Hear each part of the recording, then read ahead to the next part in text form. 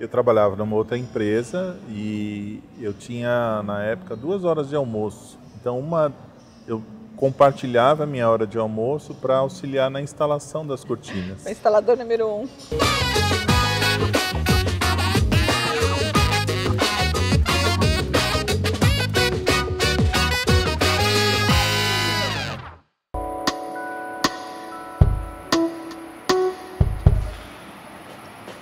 Comemorando 40 anos de história e só aqui no D&D, quase 30 anos, eu estou com a Rita e o Maurício, que estão à frente da Luri Decoração. Isso mesmo. Gente, que história! Fundadores e os grandes diretores que fizeram acontecer a Luri. Por onde começou essa história, Rita? Então, vou passar ao Maurício a palavra para ele contar um pouquinho de como começou. É, na verdade, contar 40 anos é como a gente entrar num túnel do tempo, né? Porque é uma história de sucesso, sem sombra de dúvidas. Começou com a Rita, né? A Rita tem formação de pedagoga e a, e a Luísa, né? Que é a mãe dela, que é estilista. E criaram um- uma, uma empresa, né? Que hoje vai completa 40 anos, é, começando de um- uma máquina de costura simples, confeccionando a- inicialmente colchas, né? E depois a parte de cortinas de confecção, entendeu? Dava para imaginar, naquele momento, Rita, que estava nascendo uma empresa? Então, eu acho que, que sim e que não, né? Na verdade, os filhos já estavam criados, a mamãe foi fazer um curso de patchwork. É, eu, com 16, 15 anos, vendi o meu piano para decorar minha, meu quarto. Ah, não É, e aí ela teve já essa veia da decoração. É, e aí ela já fez, né? Eu falei, papai, posso vender meu piano para comprar tecido, para fazer o quarto? E aí a mamãe fez tudo. Depois eu fui trabalhar como professora, eu cheguei a trabalhar. E aí, no- depois do curso dela, ela disse, vamos fazer alguma coisa? Eu falei, vamos. E aí começou que o papai, é, a gente, ele dava um dinheiro, prestava conta para ele e depois devolvia o dinheiro. Então, o primeiro dinheiro foi com- comprar tecido para três colchas. Ele era um vender pras- investidor. ele era investidor.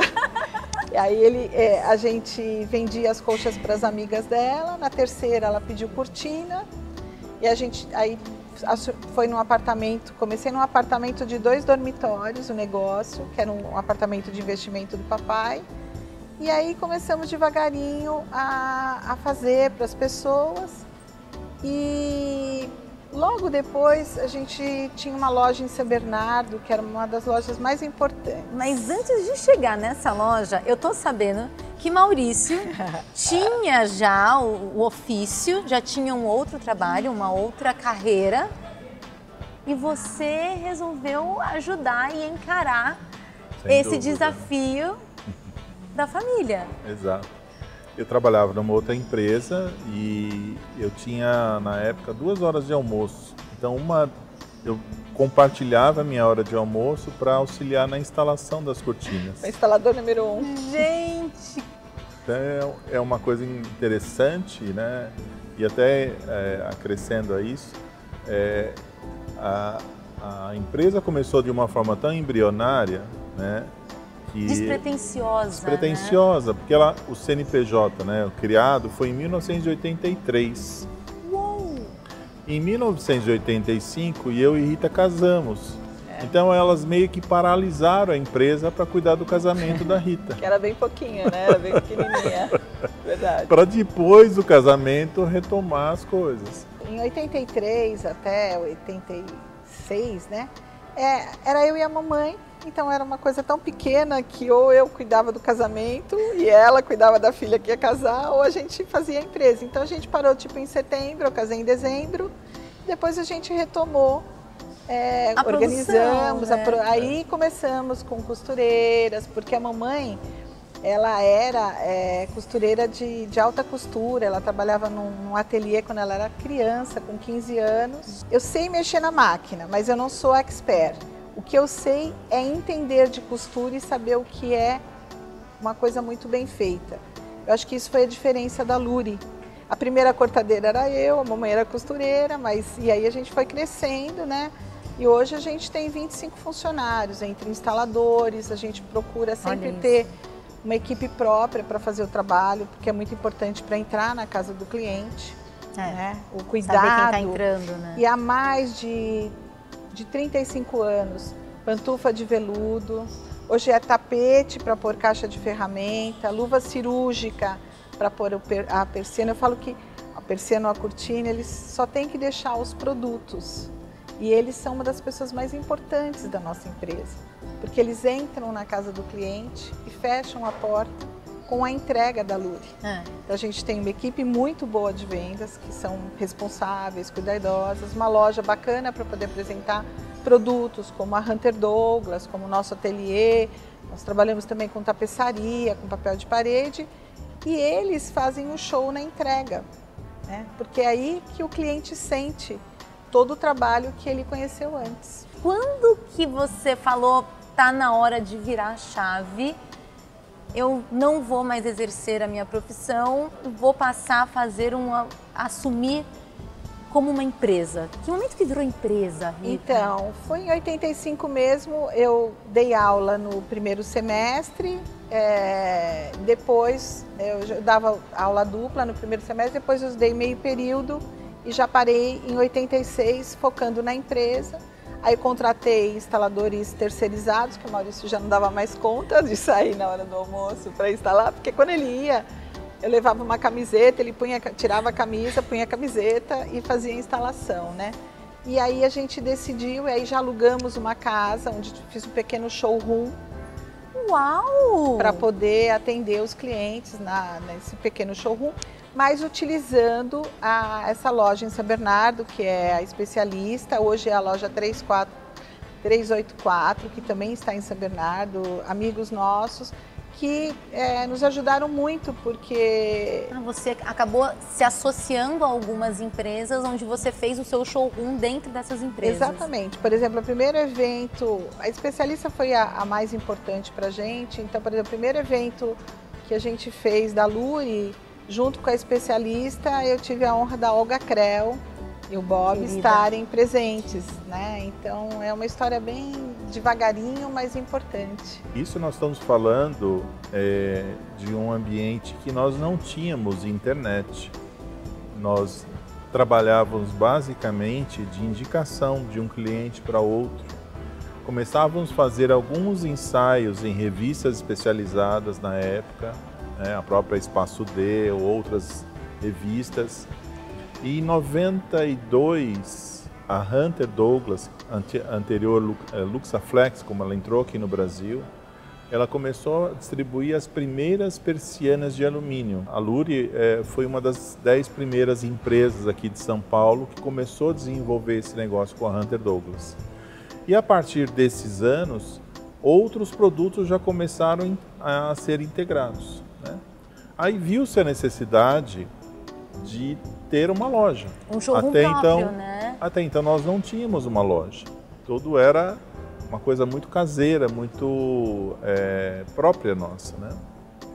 É, em 97, é, 97 a Hunter é, é, promoveu uma concorrência com, é, com outras empresas, né?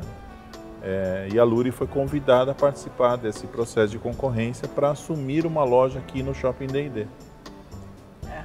E ainda na época eu trabalhava no ramo corporativo e precisava fazer um plano de negócios. Né? Para apresentar na concorrência. Quando perguntaram para a Rita, ah, precisamos de um plano de negócios, né? Eu falei, ah, sim, o que seria um plano de negócios, né? E eu já trabalhava com esse, com esse processo, com, já sabia o que fazia, né? como, como fazer. Né? E são, são histórias bem, bem interessantes, porque eu fiz uma conversa com ela, falou assim, ó, quero, me mostra como você vai vender uma loja. O que seria uma loja e como você vai se portar dentro de uma loja, né? Para que eu pudesse entender de que forma que a gente é, ia se encaixar nisso qual seria, qual seria meu, meu pulo do gato, né, vamos dizer assim, para conseguir Montar. ganhar uma concorrência igual a essa, né? Eu detalhei várias coisas, né? E uma das coisas que eu, que eu comento, eu falo assim, ah, nós vamos servir água e café na loja. Que não tinha, né? Não era uma pessoas- coisa não era- normal. Não era habitual. Isso não era habitual. E isso chegou aos avaliadores, né, aos gerentes e diretores da Hunter, da Luxaflex, então. Na época, acharam o máximo e nós ganhamos a concorrência. Gente, Completando, não era uma concorrência de valores. não. Era uma concorrência de competência, né? Eles precisavam de uma, tinha uma outra empresa que, que começou no D&D, essa empresa acabou saindo e eles precisavam de alguém para poder ter uma Representar sequência, eles. representar, né? E eu queria só voltar um pouquinho quando eu comecei a parceria com a especialista, não tinha muitos arquitetos, né? Eram bem poucos profissionais. Então era o nosso trabalho com os vendedores que eram formados às vezes em arquitetura ou design, que é, a gente fazia o trabalho com eles, né? Eu, eu tive o, o prazer né, nesse trabalho de a gente fez uma fazenda em Santa Rita do Passa Quatro para um sheik do Catar. Então são, são histórias muito presentes e muito importantes, né? Porque fazer um vocês sheik fizeram parte. é muito bacana. Eu tenho uma frase que o erro serve para a gente aprender, inovar, crescer e seguir de forma diferente. Senão ele não, não adianta, né? Eu acho que foi esse o nosso caminho, né? É. Nós tivemos uma loja em Santo André também, mas é, a primeira loja foi aqui. Mas a gente tinha lá uma expertise de, de, um, de um formato de relacionamento com os arquitetos. E eu trouxe isso para o D&D e conversei muito. Foi um trabalho de mais ou menos um ano e meio, dois anos. E eu sou fundadora do ID, que é um do- do- dos cases de sucesso do D&D, porque a gente tem os arquitetos, a gente conquista amigos.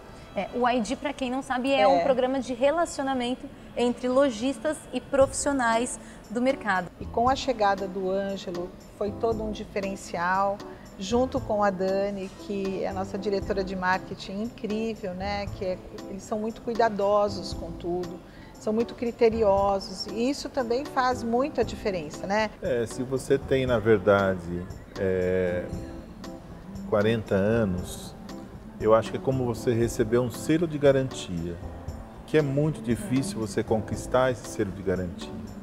Isso dá para gente uma, uma certeza de que a- as movimentações que a gente faz, acompanhando as tendências Os de passos, mercado, né? é, o formato de atender, né, os treinamentos internos que a gente promove com os nossos colaboradores, só faz é, dar o melhor atendimento ao nosso cliente e trazer isso de volta, né, ter resultado É. para isso. Né? Até recentemente a gente é, lançou uma, uma, como se fosse uma campanha ou como se fosse um slogan de, de, de mercado, né? Da nossa família para a sua, E é isso. É para que a isso. gente possa traduzir para o mercado da seguinte maneira, como se eu estivesse fazendo para minha casa, né? Aliás, eu e a Os- mamãe falávamos isso, né? Nós vamos fazer para sua casa como se fosse para nossa.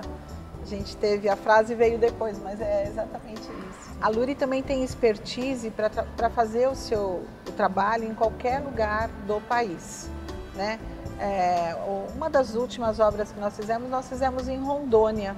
Eu ia perguntar agora qual foi o lugar mais inusitado, mas não vou mais perguntar, eu já descobri. E fazendo 40 anos, é, apresentando essa, né, essa- esse bate-papo com você, é mais honroso ainda, né? Porque eu 40 percebi, nós fizemos a nossa comemoração na segunda, né? E o quanto nós recebemos de parabéns, assim, o quanto resilientes, o quanto cuidador de tudo, né? Porque 40 anos é um marco É. para o Brasil de uma forma diferenciada, E né? fazer os 40 anos com o sucesso crescente e principalmente com o respeito do mercado, É. como acontece com a Lúria. Parabéns. Obrigada, Parabéns. muito obrigada, viu? Muito bom. Olha, quero falar muito mais, hein? Com certeza. Obrigada, falar. muito obrigada. obrigada. Natália?